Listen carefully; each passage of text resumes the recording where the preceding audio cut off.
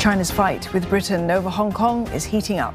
Beijing says that it will no longer recognize the special British passport held by some of the city's residents.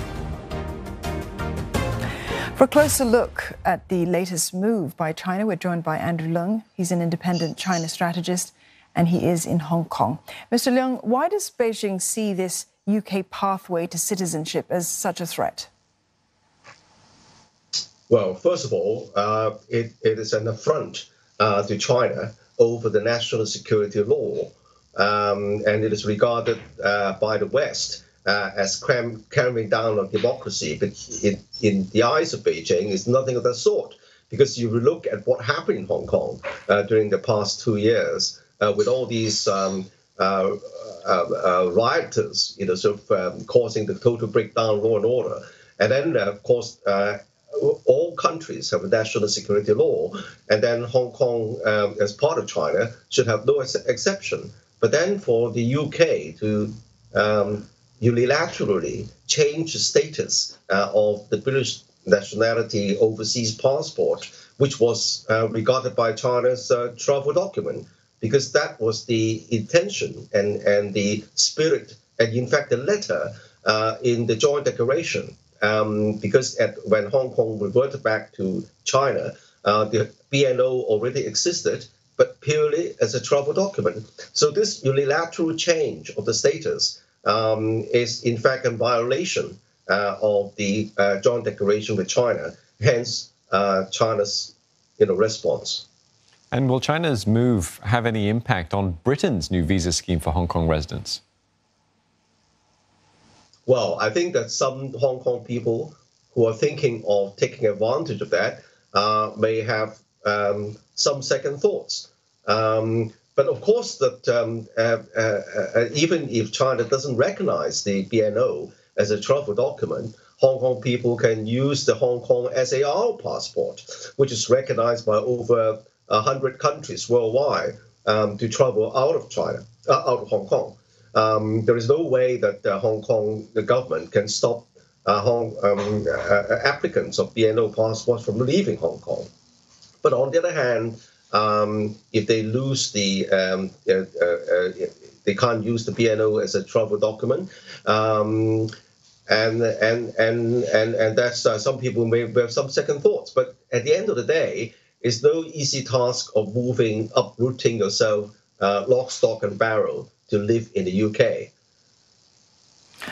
So, so Andrew, can we expect Hong Kong immigration officials then to stop recognizing the passports as well? I mean, can they stop BNO passport holders from actually leaving the city?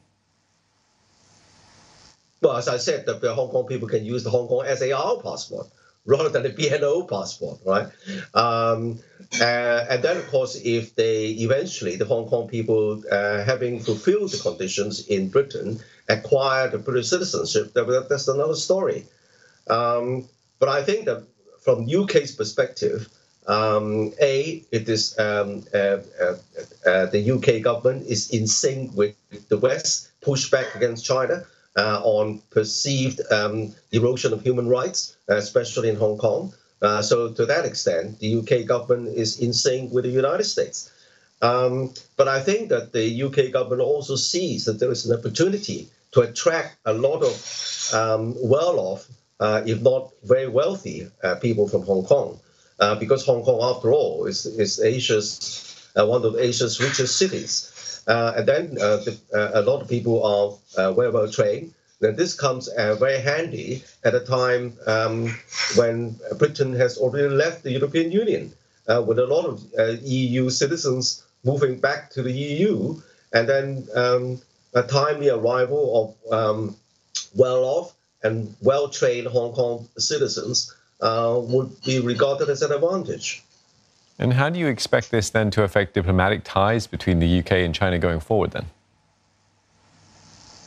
Well, um, of course, the, the, uh, diplomatic relations uh, takes uh, there is an ups and downs. Don't forget the UK was the first um, to join the um, Asian uh, Infrastructure Investment um, uh, in, um, uh, Investment Bank, um, led by China against the um, um, demonstrations from the United States. But on the other hand, um, um, the relationship has uh, taken a downturn uh, with what's happening in Hong Kong uh, with the enactment of the national security law.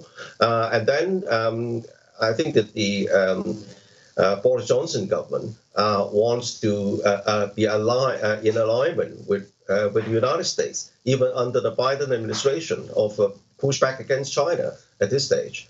But I think that um, in due course, uh, the UK may, may find it um, uh, of advantage, of course, of, or, or if not necessity, to, include, to conclude a free trade agreement with China.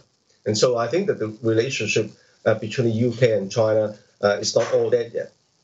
All right, well, thank you for your thoughts this evening. Andrew Leung, international and independent China strategist in Hong Kong.